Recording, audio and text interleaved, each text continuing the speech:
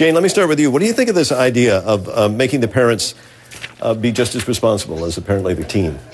It's absolutely ridiculous, Marty. It's part of our addiction to incarceration and punishment and crime and punishment. Let's punish everybody. Let's prosecute everybody in America till we're all locked up. We already lock up more people than any other country in the world. It's that punishment mentality. What would be an emotionally sober approach is to ask, what is in our culture that is encouraging this behavior? What's happening with our teenage girls and boys, for that matter, that is affecting their self esteem, that they feel the need to degrade themselves in this manner? To get to the deeper why. We are so reactive as a culture. All we want to do is punish people instead all right, Jane, of trying let me, to figure all right, out why all right. we're doing We'll hold it. you there just for a moment because I want to bring in some others. We're short on time. Roland, what do you think of this idea?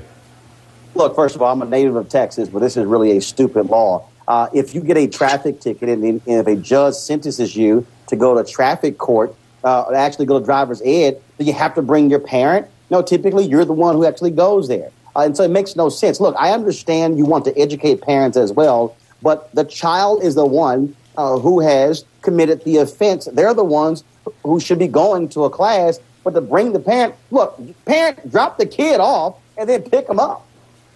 All right. Well, um, I got another idea for you, and that is, look. It, well, go ahead, Pete. Go ahead. Yeah, I, I'm stopping. Well, uh, you. listen, uh, we have to outlaw sex in this country. You shouldn't have sex. No one should have ever have sex. You shouldn't even draw Okay, a time picture of, of a naked person. I mean, What about all the porn the adults are watching? Why don't we ask where the kids getting this idea? Because millions of Yeah. dads and brothers and sons are watching porn.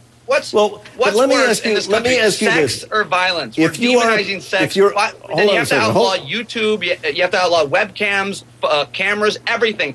Uh, making this a crime, then you have to make sex a crime. But what if this took place? Say that your child, the teen, in a classroom disrupted the class by stripping down and going naked or making sexual innuendos to the teacher.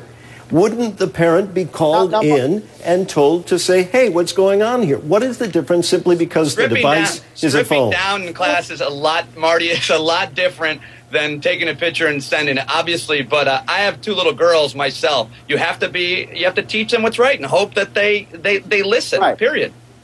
Again, And where do you draw the line? If a girl goes to the beach and takes a picture of herself in a bikini and sends it, uh, are her parents going to be prosecuted? It's absurd.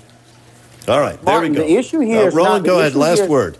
Yeah, again, the issue here is not a parent being responsible and talking with their child. What the law is simply saying is if a child goes to a class, the parent has to attend the class. And again, the person who is doing the sexting, they should be the one who has to go to the class. That makes sense. But to require the parent there, oh, come on, give me a break. All right. Well, thanks to all three of you. There's nothing like sex to bring out a good conversation, so we appreciate all of you participating. Thanks. And I'm gonna I'm gonna send a, a Peter text right now.